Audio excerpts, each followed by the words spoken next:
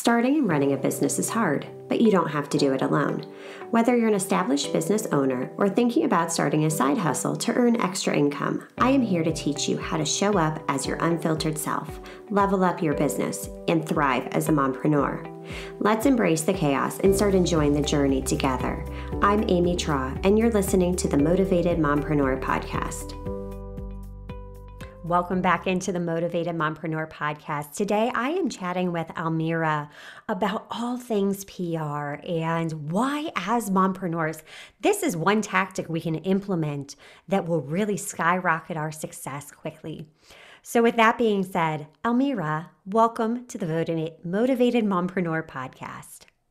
Thank you so much for having me. And I just, I love these conversations and I love what you do. So, thank you.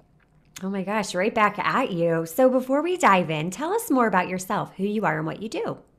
Yeah, so I have been in the PR industry for 25 years. And it's always kind of so hard to say that, right? And it, it it shows to one how time flies, but also about the breadth of what I've seen in the PR industry, and which is something we'll definitely jump into and to talk about is that what we thought PR was and what it is now, and particularly from a visibility perspective. So we'll get to that. And then, so, uh, you know, just like everybody did upon leaving university, I worked for a big agency. I then moved to the UK, ended up becoming head of global PR for this amazing beer brand. And that was also where I got my taste of entrepreneurship along my career journey. Anyways, fast forward a few years later, I moved back to Vancouver and nobody would hire me because I've been gone for so long, apparently. But that is what put me into the entrepreneurial journey of having my own consultancy. Like, literally, nobody would hire me. So I ended up as an accidental uh, entrepreneur, but in the PR industry because that's what I knew. And so I have built uh, one of uh, North America's top boutique PR and social media agencies. Did that in 2009. So it was my small consultancy, which I merged with my future business partners. Started what was meant to be like more of a lifestyle business and grew it to one of North America's top PR and social media agencies and then um, did an exit, sold the business in 2018, and now I have a smaller boutique PR agency. I'm really built in my dreams and my vision, particularly of how I want my life to be with more flexibility. Not because I had kids, it was I just want to have flexibility and freedom in my life, so it's built according to that value. But now, especially now being a mom, it's I mean you know it, all of your listeners know it. Time is precious, both to have with our children and to see them grow up, but otherwise we just ended up, end up super burned out, right? And then also, in addition to my agency that I have, I work with uh, female entrepreneurs to help them grow and scale their business as well as their visibility. So that's me. I absolutely love it. And I love how you said too, time is precious because that's literally the one thing that money cannot buy back. Yes. Our kids are only going to be young for such a short period of yes. time. I so, know. really, you know, getting that flexibility and freedom, I think, is at the top of our list yes. for. 99.9% of us in one capacity or another. So, that being said, a great way we can make this whole business piece run a lot more smoothly is through PR. So, why mm-hmm. should mompreneurs even bother? Why why why should we be putting PR on our list of tactics that we need to be implementing? It's all about the visibility. And like I said, I'm just going to take you on a bit of a, a, journey of what PR was, how we understand it, the publicity machine, if you will, and what it is now. So back when I started, it was very much about what we call earned PR. So you either, as a PR person or working for a PR company, our clients would uh, hire us to get their story into the media, being radio, TV, or uh, newspapers, print, magazines. And those were the mediums that, of communication that existed to be able to get your story out. And back in the day, also, I mean, I say that the media industry is so democratized now because we as individuals can do PR, like podcasts or have blogs or things like that. But it was very much held in the hands of the media and their influence and the ability to, you know, you read about something in the newspaper or you see it on TV, you buy it, right? And you can never actually track it. It was very much more about brand awareness but back in the day, like you really could sell a product through, in addition to advertising through PR. Then what happened is that um, the media industries all across the world started to, um, people weren't reading the newspaper as much, or there was like debt and um, conglomerations and stuff like that and consolidation. So what happened was, is that um, that people started um, uh, sorry, let me just take a step back here. So when all of the consolidation happened, there was less and less journalists, um, and we started to see other types of media starting to happen, which was like the blogs and then social media.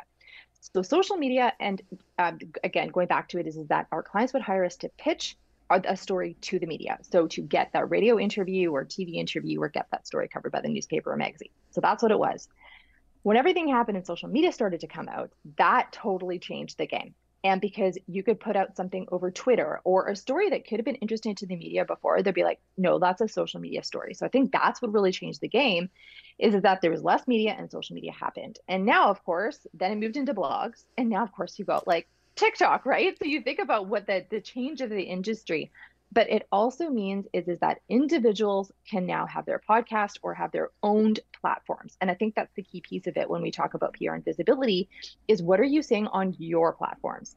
So yes absolutely. Pitch yourself to radio tv online blogs get them to cover you because that's the media's influence at the same time, what are you putting out as entrepreneurs? What are you putting on your social media channels? And listen, we, we've probably seen it anyways, is that TikTok is um, not just about dancing, right? Like there's tons of people on there and it's a massive platform for growth.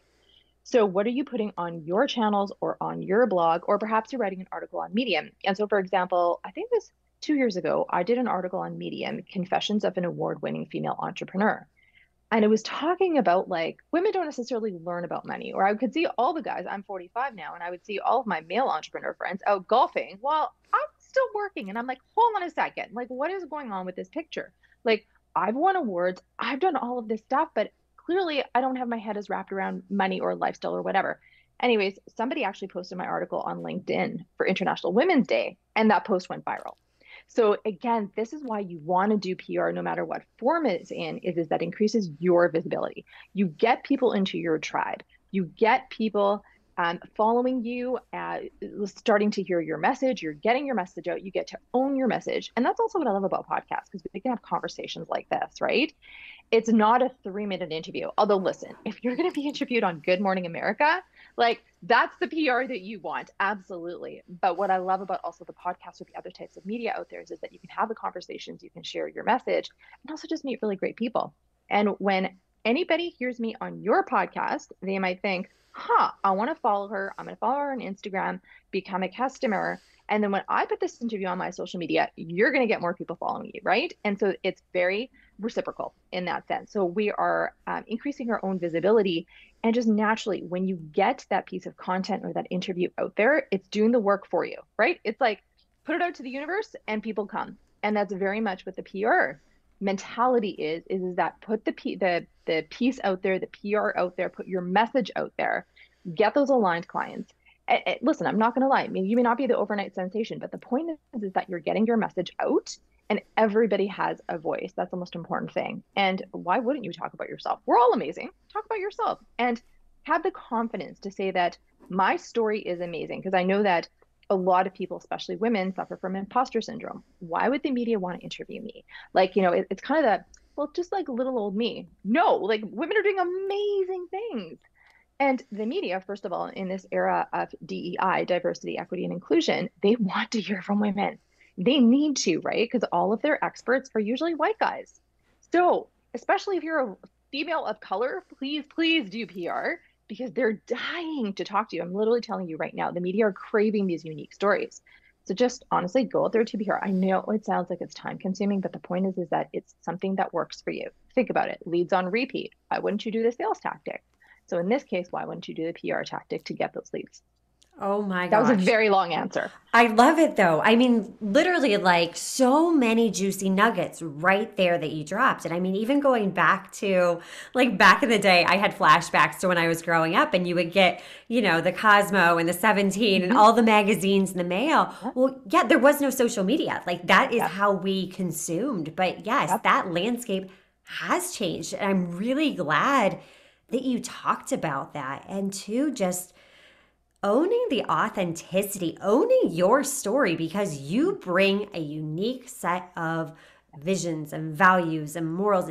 Just you bring you to the table and we need you. There is literally so much abundance in this world. And yes, mm-hmm. collaborating and getting out there, it does give us that mutual benefit because mm-hmm. it lets us discover these amazing individuals, these amazing women that are doing these incredible things and I think most of us come at it with just the attitude of serving, serving others, helping others along on the journey. We want to lift each other up and champion each other. But by integrating some of these PR tactics, it really does do the work for you. Mm-hmm. And the other really important thing you touched upon was overnight success. Mm-hmm. How, you know, we do, we tend to think that, oh, why me? Why, why would mm-hmm. I even bother? Well, yep. we all had to start at, at ground zero. We yep. all laid this, our businesses brick by brick by brick. It's by doing the uncomfortable, by doing the scary things, by putting ourselves out there and sharing our story. That's what yep. inspires me is hearing others' stories. And I know by telling my story, I'm helping the next woman because I want to be the example that, hey, I walked away from my nine to five career that I really didn't love anymore. And so can you. You know, yep. is it easy? Yep. No. But by doing this, it's such an important part of lead generation because number one, in lead generation, you have to be visible because you can have the greatest service out there, but if nobody knows you exist, there you go. Right. You're there sunk you from day one. So yep. it, it's not as complicated as we're making it out to be no, no. And I think also getting over ourselves. Yeah. You know, I do talk to a lot of women in business and sales. They're just like, there's the reaction, like there's the physical react, visceral reaction about, oh, sales are so gross. It's like, no, no, no, no. Like, please change your mindset, your mentality sales are actually super fun and it's about building a relationship. You know, I was humorously enough, I was at a children's gala for a nonprofit organization, and the gentleman that I was sitting next to came from the ad industry, and the nonprofit organization was my client. He did some pro bono work. But basically, the man dropped so many F bombs, and like I was having this like awesome swearing conversation, like we're, you know, it's just like that kind of like a bro kind of conversation, but fun, you know? Anyways, he dropped me a LinkedIn the next morning and said, When the F are we working together? And signed a six figure contract the next day. That is sales. And again, like you talked about, bringing you to the table. You know, what is it in bringing our personality? And I think there's also the perspective is, is that for anyone who's listening to this who's a coach, there's that mentality of the imposter syndrome of, oh my gosh, there's so many other coaches out there how do I fit in? Or there's there's a massive level of imposter syndrome, and I can talk about it because I felt it. Is is that I know I have something special and amazing to say and to give, but there's so many other people out there. I'm gonna get, get clients. Like, what if that coach gets stuff? And first of all, like that's lack thinking. Like you talked about abundance. There's so many clients out there, and it's they choose you because, or your clients choose you because of your vibe who do they vibe with what are you saying what's your message are you in aligned thinking so you have to to talk and apparently, by the way, there's a shortage of 10,000 business coaches in the US. So that is like there there's abundance out there and but you can't even hope to get a coaching contract if you're not talking about it or doing any PR or showing your difference, right? And I think it, it like I said, it's about stepping into that confident energy and that it's not it's it's not gross. It's your story, it's your narrative and tapping into it and what is it that you have that's so special and then to add to that is, is I often I talk about awards, and this is in my the freebie, which we'll talk about at, at the end of this. But it's about my top three way, ways to get uh, free PR. But it's about getting awards, and women are really reluctant to submit themselves for an award. And I, there's tons of them out there, especially like there's tech ones, there's stuff that you know, community awards for give back in the community. And I always have to tap a woman on the shoulder, whereas a guy is like, "Hey, I'm applying for this." And again, people want to hear from you. There's actually award categories for female of the year. Like it, it, it's in front of you. And then there's female BIPOC leader, right? It, it's right there. And then, I mean, don't even get me started about when a woman tends to write her own application and the amount of times they have to rewrite it, because so often they don't take the credit for what they do. They are writing the application and nomination as I was part of a group that did this. It's never I led this initiative, even if they led it. Women don't boast, don't take credit, and you know these are things we talk about all the time. I don't. I'm not talking about anything new, but we don't take the credit for what we did. Or what was it? I was doing an application for a girlfriend of mine who's the executive director of a nonprofit for entrepreneurs, and what did she say? It was, oh yes, I supported all of the board directors in their initiatives. And I'm like, I'm sorry. You supported nobody. You led. You were the ED. And thanks to her efforts, that yes, I mean, fundamentally created a strong foundation for the other board chairs, but they had the highest retention rate of any chapter in North America. They had the best integration rates, they had the best membership rates. And I'm like, I- am sorry, can, can we see lead on there? You know, thanks to my efforts. And for her, it was such a, a change in mindset to be able to take the credit. And it, it, I don't know, maybe women just need to do like, you know, more deep breathing and more uh, yoga to open that throat chakra, right? And just to be visible. But there's something about women just stepping back that has to fundamentally change. One, because of the time in the world where we are at right now, where women are stepping up. But second of all, is, is that how do you hope to have your own business if you don't want to be visible? And that's where the PR helps because you get to be visible again, very long answer. Thank you for bearing with that. but I love it. And it needs said. And we need to hear this message over and over and over until it is the norm until it is yeah. commonplace because how often do we hold ourselves back i forget what the exact statistic is but you know if men are like qualified 60% for mm-hmm. a job mm-hmm. they will submit their their application whereas a woman most of the time unless we check every single box on there we're like mm, yeah. no i'm not qualified for this so yeah. we really do need to start to change the way we think and approach things and that's where we're going to start to change the narrative yes Exactly. And it all also goes down to empowerment, just like you said. Where is our power? Where is our power to create change? And one of the books that I love is Rachel Rogers, We Should All Be Millionaires. And she talks about how women need to be millionaires because that's how you create change. You know, when you have the money, you could, you, the like dollars speak or you can do something politically to create change. But also, I mean, you need to be essentially a hundred thousand dollar household to be able to do anything now, just the, the state of the economy in the world. But even if you make $100,000, there's not a lot left over. And a woman creates change in her family, in her community, and in the world. So we should all be millionaires. Like it's a fundamental fact. And, you know, I'm all about wealth building and time building and all that stuff, but I never thought about it that way that we should not only should we all be millionaires, we need to be millionaires. We need to have successful businesses. And part of where that will come in is, is that establishing our own selves as thought leaders, establishing ourselves as experts, you know and it's human nature that we want to work with the best. So for, me particularly i want a number of awards. So my clients automatically my credibility is established. I do media interviews. I won a ton of awards. So automatically my credibility is established. I actually don't do any sales as i say in quotation marks. My business is all built on referrals. Everybody's coming to me. One i do have that reputation in the marketplace here but two is, is that my PR and my awards stand for, you know, they've got the credibility, I've got the backing behind it, and also I get to charge more. You get to charge more and work less, like the dream, right? I feel like I'm sitting on a secret here, but it's really not. You know, is going after that premium market, and I, you know, even get clients on the, the my because in my coaching business I work with coaches as well as I call them bricks and mortar entrepreneurs. But they're all like, "Oh, I want to be really premium and get that premium ticket," and I'm like, okay, but you're not doing anything to put yourself out there. Like, where's your thought leadership? Where's your interviews? Because again, going back to the human nature thing is, is that people will pay top dollar for the best. So don't think of PR as like this publicity, you know, and I mean, I feel like you and I are old enough that we get it. Absolutely fabulous. Remember that show Ab Fab where they drank champagne and they were PR people? But the point is is that it's not about the drinking champagne get some publicity rah rah rah. It's actually truth to the matter and you get the credibility and influence of the media that gets you to charge more money. Again money time motherhood. I mean there, there's an equation right there.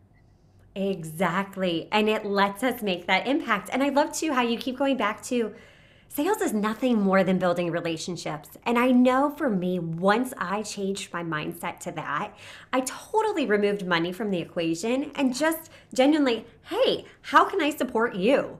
Yeah. It opens yeah. opportunities. And right there, that that's the game changer. So put yourself out there. Don't be afraid to toot your own horn once in a while. Like it's this is what we have to do. We can't yeah. keep ourselves small. Small. Yeah. We have to get out there and be the example for the other women that are not even starting businesses because they're afraid to. They don't think they're qualified to. Your life experience has led you exactly to where you're meant to be in life. Exactly. So, you know, getting exactly. yourself out there, using the PR piece, all of these things that will catapult you to success and you yes. have it in you and you can achieve what you desire You just yeah. have to put in the work. And exactly. I think a lot of times, too, that being said, as women, we think that the more hustle is going to give us more payoff. But like you said, it's all about working smarter. Yeah. Yep. Yep. It's being strategic and, yep. you know, building up that credibility. Boom. Then exactly. word of mouth referrals, you're doing exactly. less work. It's beautiful. Exactly. Yeah. And it's also your energy, right? And so that that's part of it is is that there is the the spiritual energetic work. I meditate. I'm all about like creating expansion. You know, there's so much talk about embodiment now. And I think embodiment and breath work are where yoga was, however many.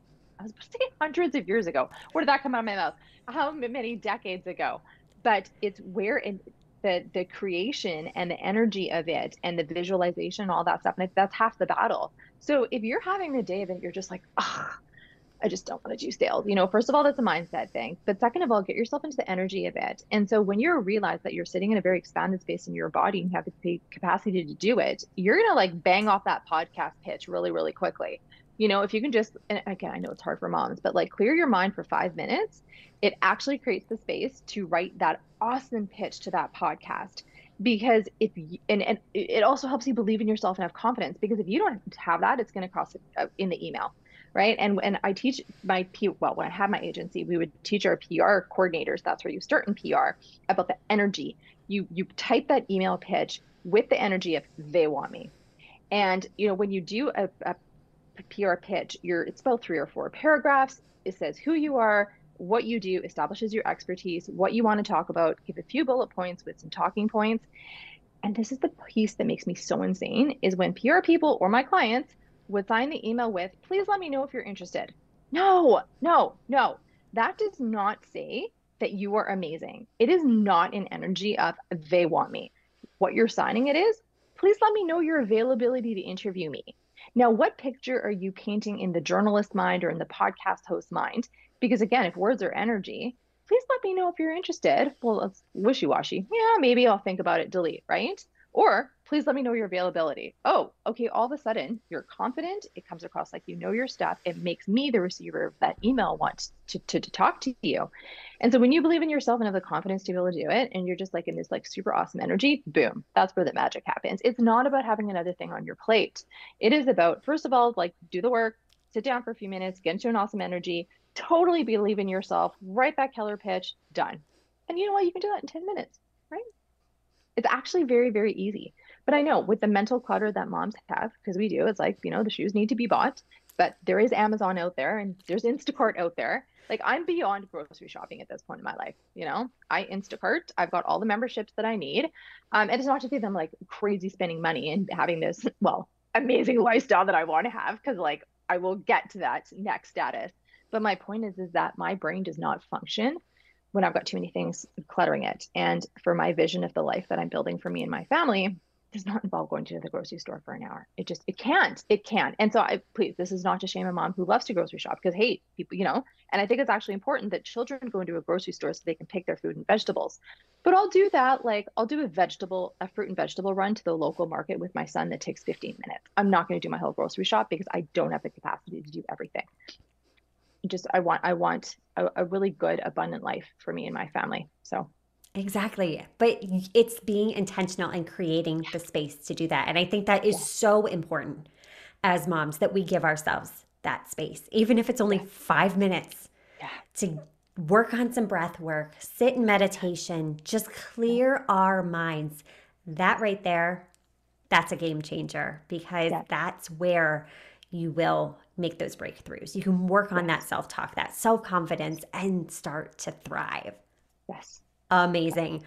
Almira, where can we learn more about you? Mm-hmm. I'm all over Instagram. It, so it's Almira B A L M for mother, I R for Richard, A B for Boris. I'll spell it out. Almira B. I'm like, what were my parents thinking when they called me Almira Bardai? And now, like, I love my name, but it was just at one point I was just like, can my name just be Jennifer, please? Like, this would be much easier. But, but I had to own myself and own my name and own my story, right? So that was the thing is, is that like I think women kind of wanted to blend in, but no, right now it's about standing out. Anyways, you'll hear me talk all about that on Instagram. Almira B, catch me there, drop me a DM. Oh my gosh, so good. So be sure to hop on there. Everything will be linked up in the show notes. And thank you again for taking time out of your busy schedule. This was incredible. You have hyped us all up and keep doing it because we need to hear this message. Awesome. Thank you so much for having me. I loved our conversation. It was awesome. All right, until next time, stop dreaming and start taking messy action. You've got this. Are you loving what you're hearing? Do us a favor and hit that subscribe button so you don't miss an episode.